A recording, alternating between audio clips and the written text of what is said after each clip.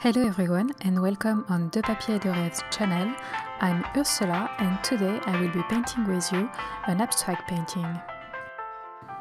I'm not showing you a lot of abstract painting on my channel, but I do like uh, paint uh, this kind of uh, painting. It's a really uh, relaxing process and it encouraged me to improve my paintings and uh, try new things. And in order to see my improvements, I'm painting on a sketchbook uh, and I can see uh, painting after painting what I like uh, about this or this painting and what I dislike also. So today my sketchbook is uh, from Sennelier. It's uh, shaped like an accordion, so it doesn't have any binding to it and it's made of 100% uh, cotton paper, so it's a, very uh, good paper and it's a pleasure to paint uh, on it. I will put a, a picture of uh, this sketchbook on my blog so that you can have a, better look uh, of it, uh, and I will put the link in the description below. When I'm painting an abstract painting, I try to focus on one shape or one gesture in order to get a, a unity in my painting. And here it's uh, the line, uh, vertical and horizontal line. Maybe it's not very clear right now, but you will see uh, I will uh, build it and it will be very clear at the end. In other painting, I can focus myself on round shape or on uh, explosive composition or things like that. And uh, it's good to have a, a, focus because there is no um, reference picture here and I can do anything I want. So I need to focus a little bit in order to get somewhere. Sometimes I'm using a reference picture, but it's just there to look at, and I'm not uh, uh, following this picture very precisely. Maybe it's just one shape I want to reproduce on my paper, maybe it's one color, and it's just a, a support for my imagination. I'm also using a limited palette when I'm painting in abstract uh, with three or four color only and it uh, helps me to uh, keep my focus on shapes and uh, not using all the color I have on my palette which will be uh, a bit too messy and too much.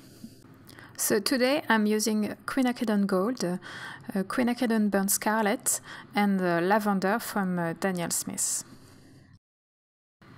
For this painting, I've decided to uh, make many layers in order to get a little bit of uh, depth in my painting and uh, to play a bit more with the transparency of watercolor. So I'm building layer by layer slowly and uh, I'm keep adding colors and uh, even uh, more concentrated colors step by step. As you may know, quinacridone burnt scarlet and quinacridone gold are two very, very transparent colors, and uh, um, lavender is, uh, on the contrary, quite an opaque color. So I will playing with those two characteristics uh, in order to get more interest in my painting. Quinacridone gold is a very bright and uh, uh, joyful colors uh, with a lot of luminosity in it.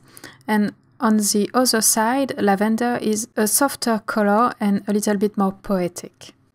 When I mix uh, quinacridone burnt scarlet and quinacridone gold, I can get a large variety of yellow, orangey and red hue, almost uh, peachy colors, and they are quite energetic but also soft at the same time. But when I mix quinacridone gold and lavender together, I cannot get some greens because the lavender is a bit too uh, violet um, and uh, there is not enough blue in it to get greens. So when I mix them together, I, I can just have some neutral gray that are quite interesting. And if I mix all the, those three colors together, I cannot get some darker color because of the opacity of lavender.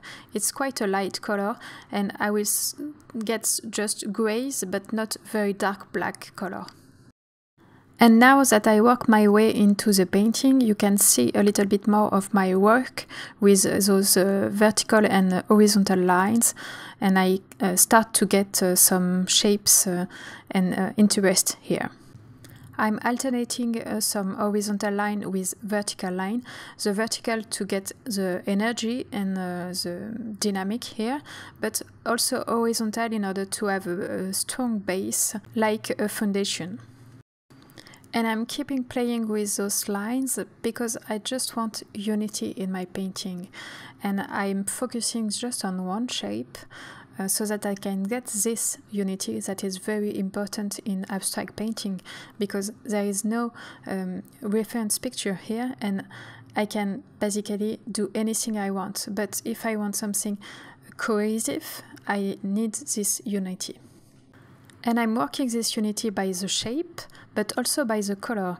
And I'm repeating my touch of color in all the painting in order to, to be cohesive uh, in, uh, in the painting. So if I have a big, big splotch of lavender at some points, I will add some little touch of lavender in other points of my painting.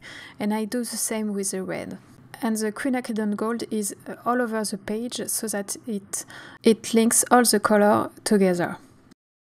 And now let's talk about supplies. I've used a Raphael Petit Gris 803 number 2 and a Silver Brush Black Velvet uh, quarter inch in a dagger shape. For the color, I've used quinacridone gold, quinacridone burnt scarlet,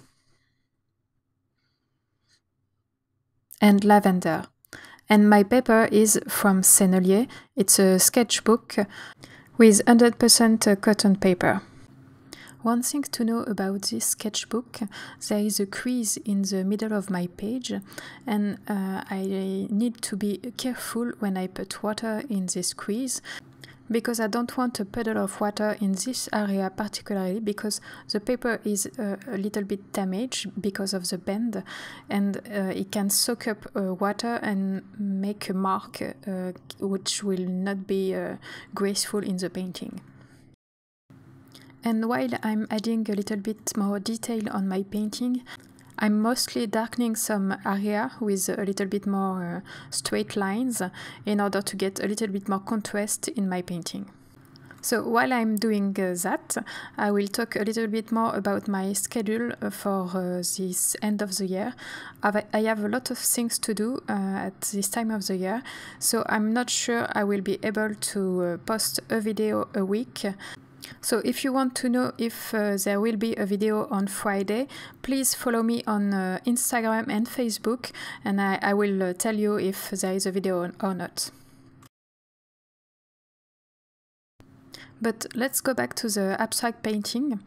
I, I was at first very reluctant to make abstract art because uh, it's quite uh, impressive to be uh, in front of my white paper and without knowing where I'm going. I often have an, an idea of what color I, I, should or I would use, but I'm not uh, confident in uh, my shapes and my composition uh, when I start. But the more I paint abstract art, the more I want to paint. So I need to find another sketchbook to paint uh, abstract art because this one is mostly finished. I have just one page uh, to go and that's it. And I will make a, a tour of this sketchbook in uh, my channel in the uh, weeks uh, coming. And I found that I, I really do love uh, painting abstract now uh, because it's very relaxing. I can do whatever I want, and I, often I paint uh, at night, uh, just before bed, and uh, it's uh, a way to calm my mind and not thinking about anything, um, but just paint.